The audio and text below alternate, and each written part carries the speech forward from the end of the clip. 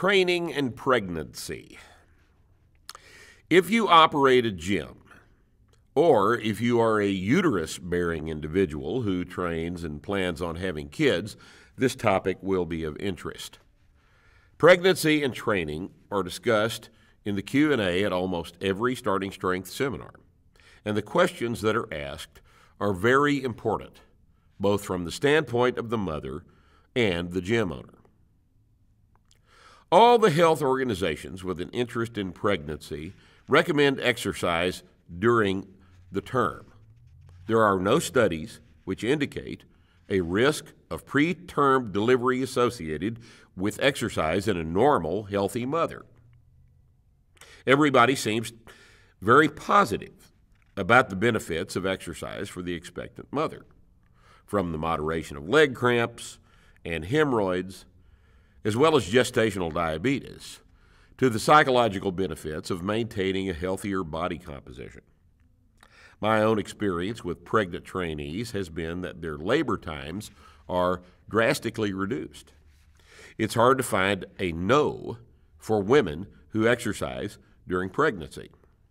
That being said, the advice regarding exercise during pregnancy can be very primitive. The website pregnancy.statistics.org has some really strange stuff right out of the 1950s. For example, quote, if you are weight training as part of your pregnancy exercise program, make sure that you avoid body building. Instead, concentrate on tone. Do not lift weights over your head or do things that strain the lower back. I swear to God, it said that. Even this is even better. During trimesters two and three, avoid exercises that require you to lie flat. This can deprive your baby of your nutrient rich blood flow. That makes you kind of wonder how they want a gal to go to sleep at night. Or the following do not exercise to a point at which you are breathless. This sort of exercise will deprive your baby of oxygen, which is needed for healthy development. So that makes you wonder how sensitive the fetus is to mom climbing the stairs. Are moms not supposed to climb the stairs? Doesn't say. The standard caveats are always listed. Don't get so hot that your body temperature elevates excessively which means that you're not supposed to do wind sprints in Libya during August, for example. Don't play contact sports. Don't place yourself in a position where you can fall. Don't exercise if you're being treated for a pathology that has already increased the chances of a preterm delivery. But you already knew these things.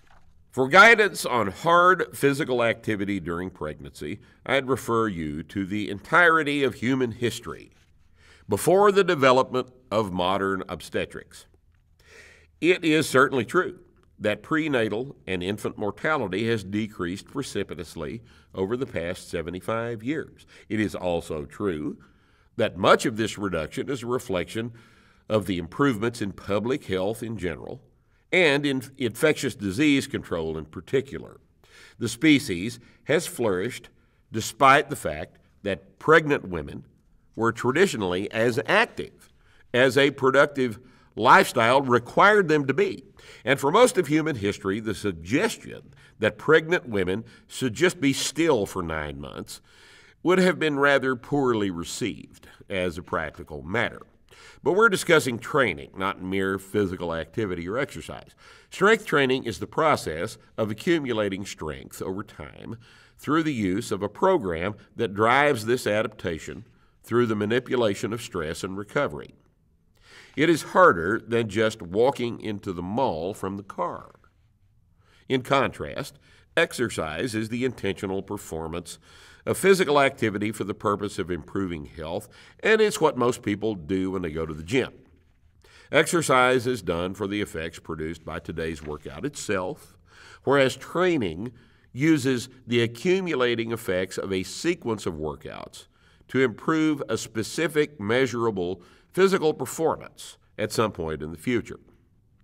Exercise is going to the gym, doing a few squats, some presses, lat pull downs, some cardio, going home. Training is following a program designed to produce personal records on the markers for productive improvement of competition. If you're exercising, you're just working out in the gym. But if you're training, you're working on a set of numbers from your training log. Female athletes become pregnant. Competitive women who enjoy hard physical activities become pregnant. Women frequently choose not to stop being better than average humans when they get pregnant. And better than average humans sometimes decide that training is a good way to improve their lives. My advice at the gym has for many years been quite simple. If you are already training and become pregnant, keep training as long as possible, but don't do anything stupid. When in doubt, don't push for the PR. Late term, my advice is to stop training until you hatch. If you are pregnant and you want to start training, don't start until after you deliver the baby. Exercise now, train later. For a woman who has never trained and who is therefore unadapted to the stress of training, an exercise only approach is much safer for everyone involved, especially for the gym owner. And here's why. It is a demonstrable fact that 30 to 50 percent of all conceptions end in spontaneous abortion, more often referred to as miscarriage. This statistic varies with the age of the mother, the nutrition status, time of year in geography, and factors such as disease acquisition and stress. But across all demographics, 30 to 50 percent of all pregnant women will miscarry a pregnancy. This leads to a simple but very important question for the gym owner Do you want this to occur in your gym? Especially under circumstances that may cause you to appear to be liable in any capacity.